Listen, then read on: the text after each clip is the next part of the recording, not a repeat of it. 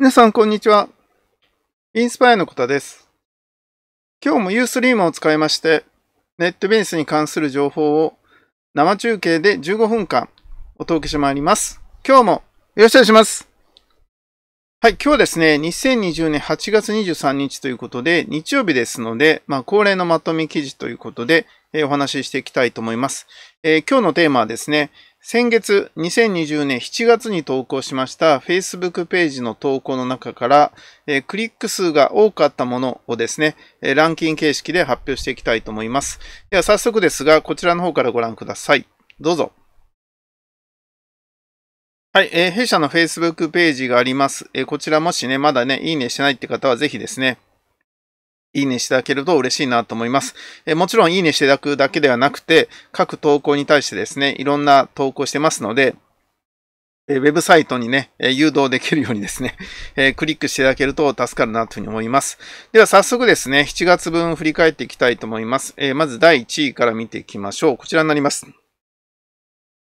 はい。えー、57クリックということで、選挙に出ないかって誘われるのもわかると書きましたが、これね、あの、ちょっとサムネイルがですね、あの、当初となんかちょっと変わった気がしますけど、えー、まあ、指原里乃が、えー、映っているはずなんですけど、まあ、このサムネイルにこういう感じにですね、あの、口元しか出てない状態だと、やっぱりクリック率が落ちてしまうので、まあ、もしくはですね、これ下のところに指原里の、えー、号外被害のえー、豪雨被害の地元大分県などは2000万円寄付っていうのが、もしね、このところに指原にのって言葉が出てなければ、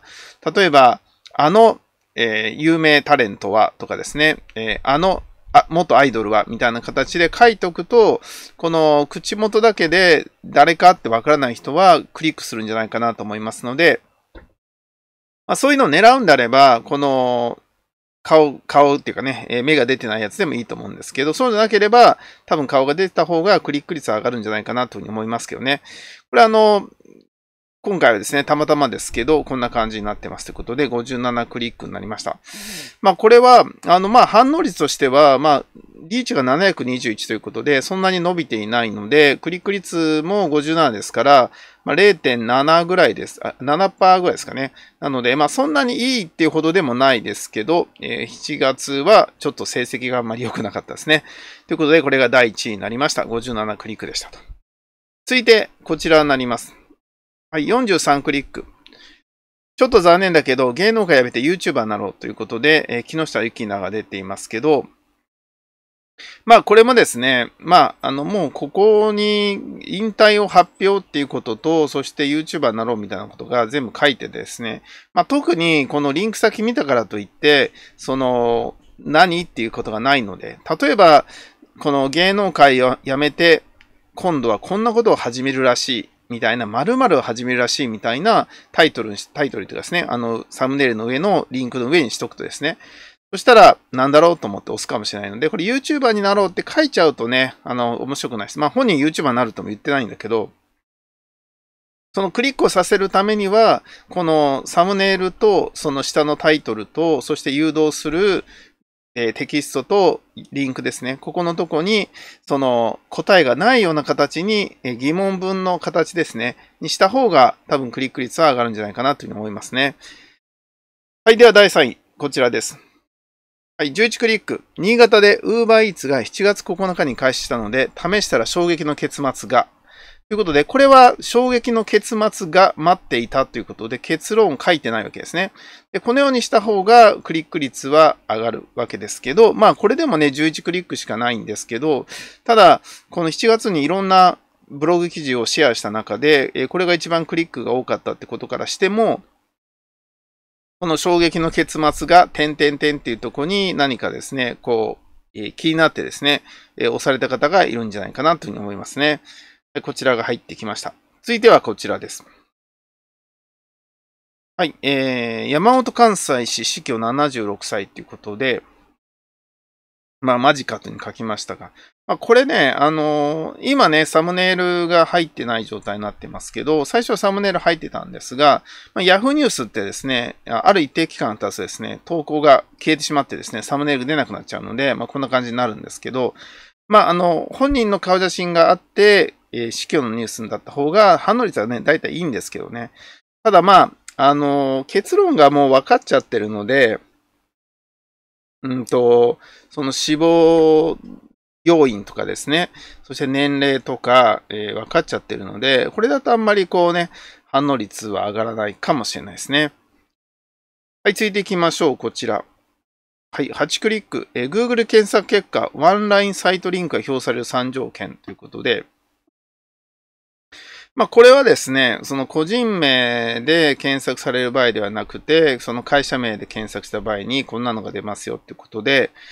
まあ、実際にですね、出てる例なんかも紹介してるんですけど、まあ、この中でですね、その条件っていうのがあって、ここに興味持った人がですね、クリックしてくれたら嬉しいなと思ったんですけど、まあ、あんまりこう、うん、うまくいかなかったかな。えー、内容的にはかなり面白いので、えー、クリックがもっと多くてもよかったんですけどね。えリーチ含めですね、伸びなかったですね。はい、続いていきましょう。こちら。はい、7クリックということで、LINE 公式アカウントの LINE コールでビデオ通話まで、え無料で OK ということで入りました。まあ、これもね、あの、書いてる通りで、もうそこの写真と図解とですね、その横に入っている文章ですね、ほぼ言いたいことが言えてしまっていますので、そうするとやっぱりね、反応率は低くなってしまいますね。まあ、これあの、何、何のためにするかっていうのが結構あって、その、クリックさせるために、この投稿頑張るなれば、もうちょっとですね、サムネイルとか、その誘導文とか考えた方がいいんだけど、今ね、どっちかというと、まあ、それでももう数が少ないから、どっちかというと Facebook の投稿だけで、ある程度ね、言いたい、言ってることとかですね、えー、相手が通知したいことっていうのが分かるような形がいいんじゃないかなと思いまして、この、えー、なんですかね、えー、これもね、強化してるんですけどね。はい、では続いていきましょう。こちらになります。はい、7クリック。えー、スマホ縦む縦横向きスタンドプラス明るさ10段階、切り替え3色、照明の一体型ということで、もう完全に日本語おかしくなってますけど、まあ、こちらがランクインしましたと。はい。まあね、あの、こういうガジェット系の紹介が結構続いているんですけど、まだまだですね、ガジェットは結構あるんですよ。で、これをね、紹介していかなきゃいけないんだけど、なかなかこう、うまく時間が取れなくて、うまくできてないんですけど、まあ、この辺はですね、えー、その、撮影のね、場所っていうのがあって、今ですね、この事務所で撮る場合は背景がもうこのですね、えー、この綺麗な夜景みたいなことになっちゃってるので、だからどうしてもですね、レビューで何かやってみせるようなものだと、この背景がこの状態で配信するとですね、うまくこう、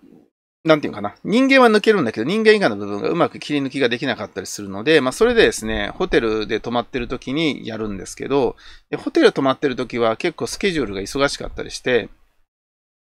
うまく時間が取れなかったりもするのでね、なかなかレビューが取れなかったりするし、あとね、持ち運べるものと運べないものがあるし、あとやっぱりライブ配信するとなったら、通信回線が安定しないとやっぱできなかったりするので、まあ、たまにね、ホテルでもね、ちょっと、えー、回線がやばいとこがあるので、まあね、あの、こういう機会見つけてですね、やっていきたいと思っています。はい。では、続いていきましょう。こちらですね。6クリック。インターネットビジネスを網羅した2日間、12時間、えー、カリキュラムということで、まあ、これあの、福島の商工会議所の方で、この秋にですね、行う予定になっています。で、まあ、インターネットビジネスっていうものをですね、まあ、新たにゼロから始めたいよっていう方はですね、まあ、結構おすすめの内容になっているので、ぜひお越しいただきたいなと思っています。で、まあ一応このね、あの、項目立てはしてみたんですけど、まあできればね、こう、皆さんに合わせてフリートークというかですね、えー、皆さん聞きたいことをうまく合わせていきたいなと思ってるので、まあ、なるべく皆さんの期待に応える内容になるんじゃないかなと思ってますから、ぜひですね、興味持って来ていただければというふうに思っています。はい。では、続いていきましょう。こちらです。はい。6クリック。えー、Zoom による動画をホームページに埋め込んで EC の制約率を上げる方法。これね、結構重要な内容なんですけど、意外に クリックされてないと。うん。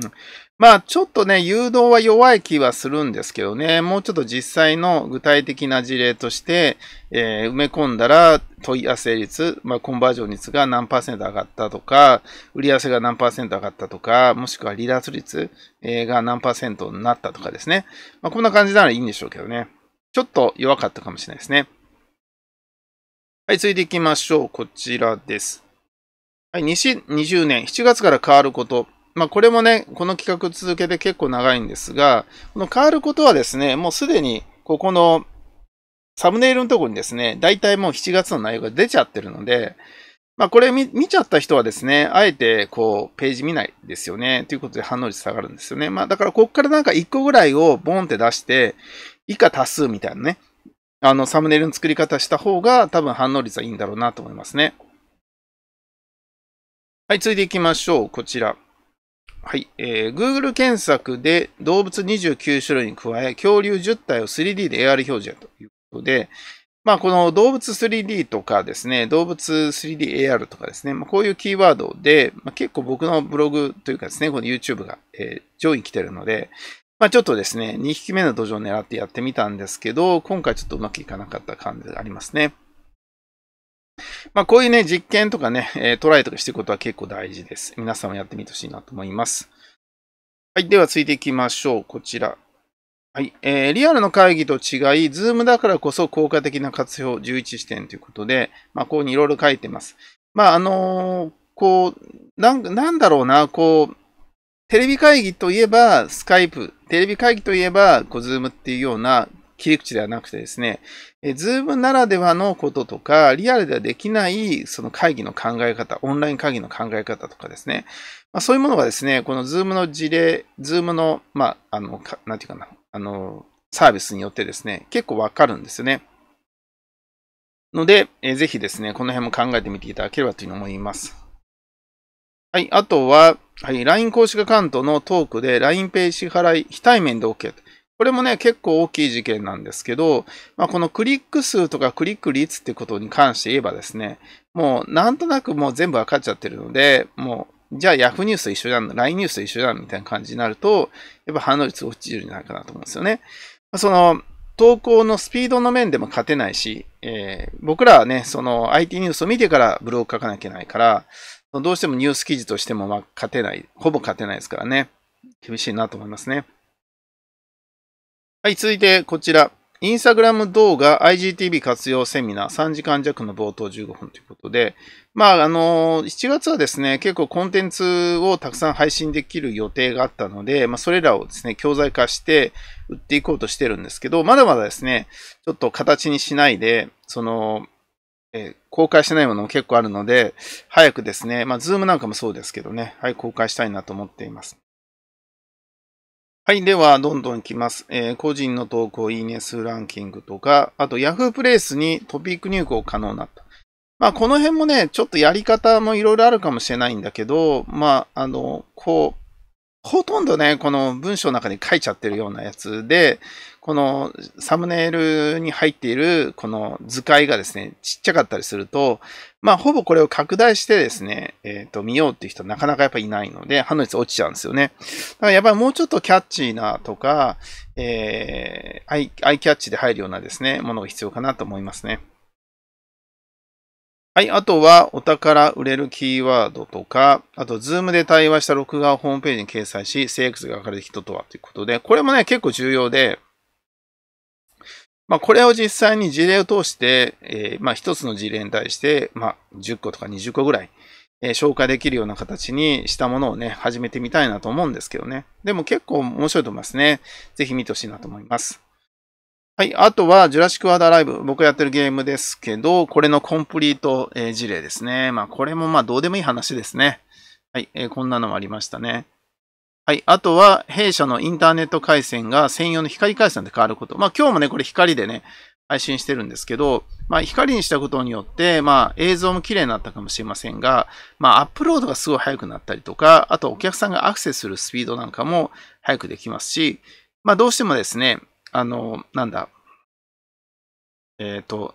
配信の状態がですね、えー、ライブ配信とかする場合なんかは、やっぱりね、光は強いですよね。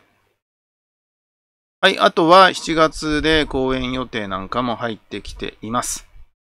はい。ということですね、えー、2020年7月の Facebook ページの、えー、中でクリック数が多かったものをランキング形式で発表してきました。まあ、このようなですね、定点観測を続けておくとですね、いろいろ見えてくることがあるので、ぜひ皆さんもですね、まあ、別に皆さんに公開する必要ないので、え、クローズド結構なので、ぜひですね、ランキングを作っていただければと思います。インスパイアの方でした。ありがとうございました。バイバイ。